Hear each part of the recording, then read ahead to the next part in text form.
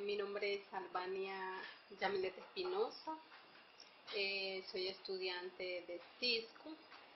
Eh, puedo contar, ¿verdad?, de todo el tiempo. Yo estudié aquí primeramente en el 2002, 2001 y 2002.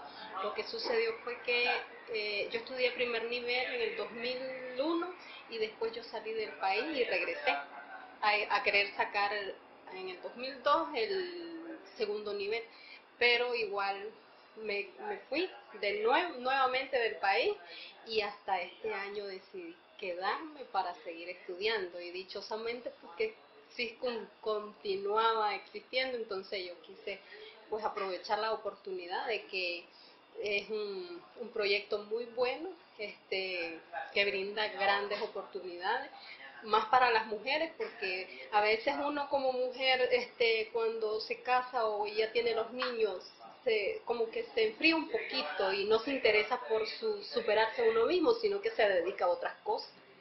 Y yo sí estudié este curso, pero no es lo mismo. Quise sacar mi bachillerato, mi quinto año, para continuar estudiando, porque mi, mi sueño o, meta es estudiar derecho.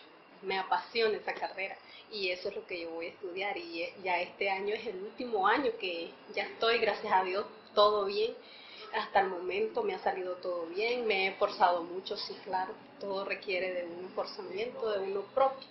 Eh, y muy agradecida con también porque estuve becada, no, no, no tenía, no, o sea, no pagaba lo que realmente en otras escuelas me tocaría pagar. Y aquí pues me brindaron una gran oportunidad, me dieron becas y, y un trato muy especial muy bonito todo de parte de los maestros, la directora, los demás. Muy bien. Y ahora este año sale de CISCUM, ¿cuáles son sus planes por el futuro? Eh, seguir estudiando, seguir superándome. Ah, como dije, quiero estudiar Derecho, me gusta mucho, me apasiona esa carrera. Y siempre quise eso desde chiquilla. Lo que pasa es que por circunstancias de la vida yo me tuve que ir del país.